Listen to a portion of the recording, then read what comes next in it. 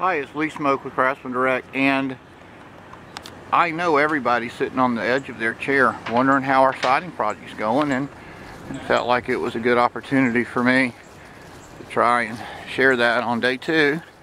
There's a couple of things you can notice that uh, in the yard we got a pretty organized pile of old siding.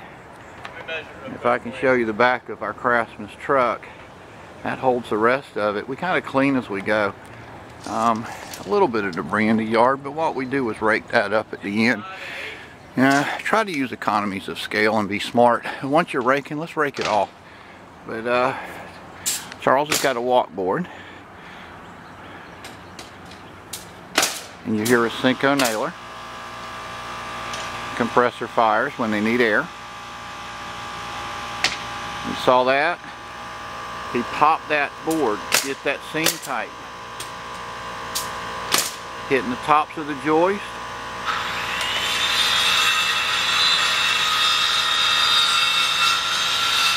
What you can also see is the house wrap going up with the siding.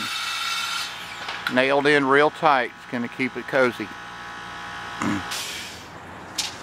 Brand new trim boards. Let's get some pictures.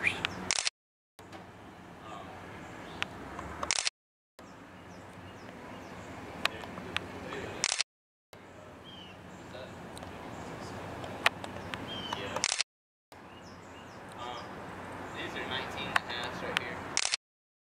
Got me one, two, five, six, seven of them. Seven. Yeah. Keep the seventh when it's gonna be a rim, alright?